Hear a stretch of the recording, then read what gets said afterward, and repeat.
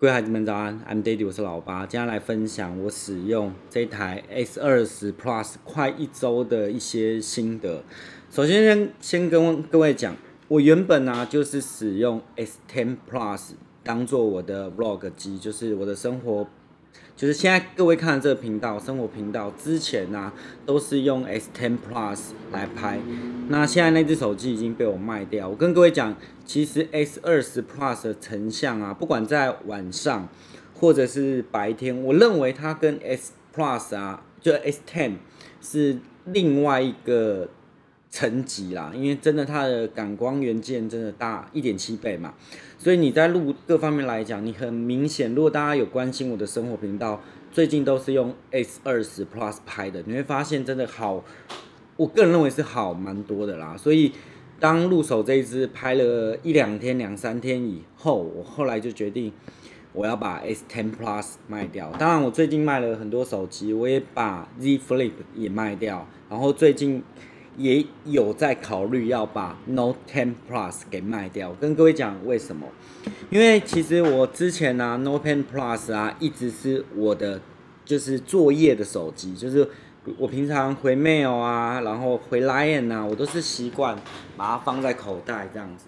好，反正就是我用这边好了，放在口袋。我今天有拉拉链哦。其实它真的很大，然后我 Vlog 啊，就可能是拿 S10 Plus。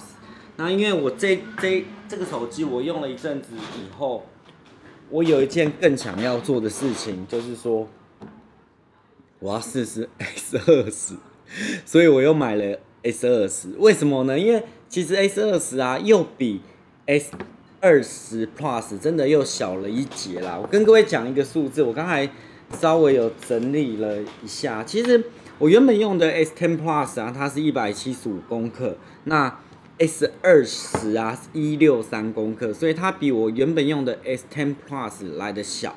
但是我现在最近在换的 S 二十 Plus 啊，它是一百八十六公克，所以它比我原本用的 S 十 Plus 来的大，吼，就是来的重啦。所以我就觉得说我应该要尝试换着更小的手机，如果在它的成像能维持一样的状况下，然后。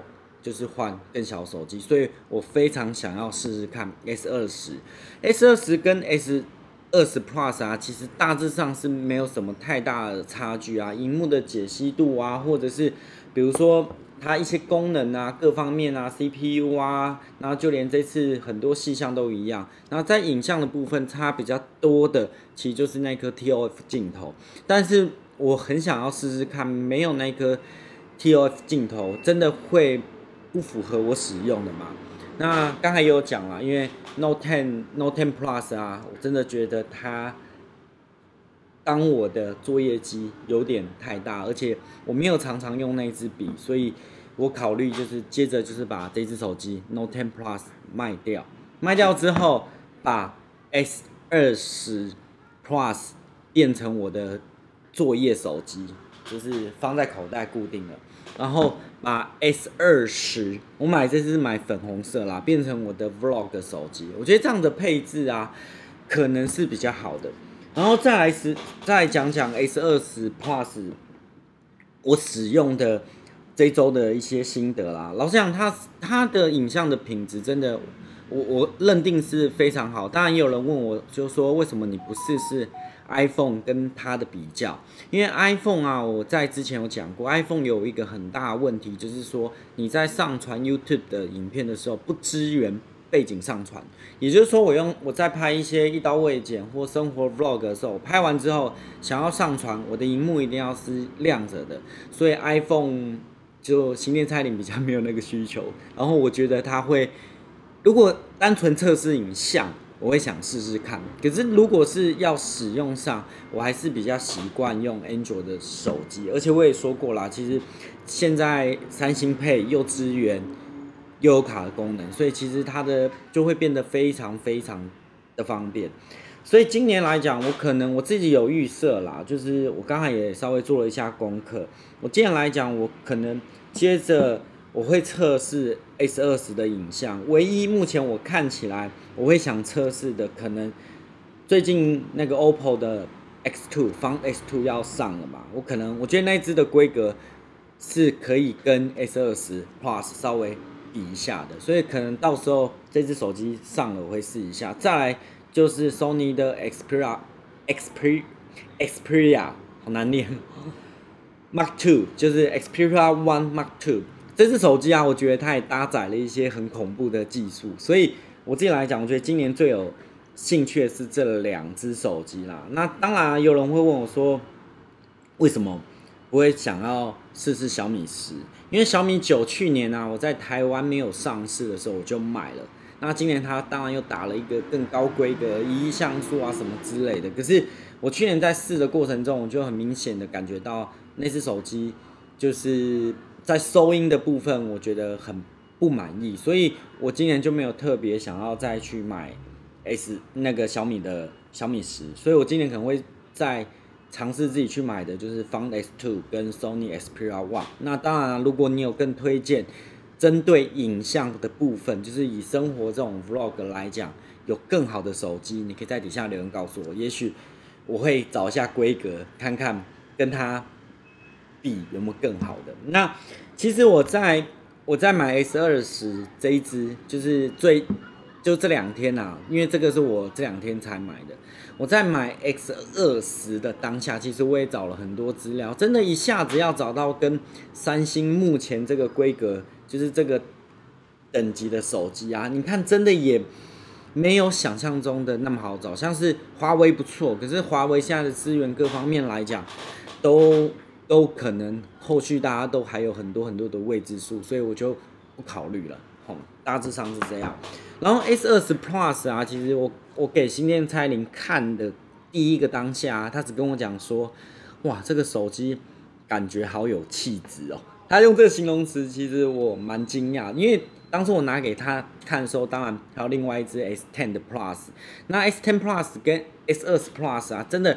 在屏占比的部分真的差蛮多的，所以你就在视觉上你一看，你就会觉得说它完全不一样。但它厚度是差不多的，可是视觉上跟它的圆角啊什么的，不晓得为什么 S20 Plus 就是感觉那么好一点。然后再还有就是，我觉得打孔屏变小也是一个优点呐。左边是这边是 Note Ten 好 Plus，右边这个是 S 二十的打孔。S 二十 Plus 的打孔有没有差非常多？所所以整个来讲，你会觉得说它就不晓得为什么哎，你拿在手上的那个质感跟分量啊，真的会好蛮多。而且它这个地方的设计啦，镜头这边设计，我自认为，当然它识别度没有这么高，因为现在越来越多手机是用这种方形的设计了。但是现在你也讲说，哇，这个地方比。iPhone 好看，真的真的，大家不觉得吗？真的比 iPhone 好看。好了，跟我打开一下我的这只手机，拿一下刀片。这是 S 二十，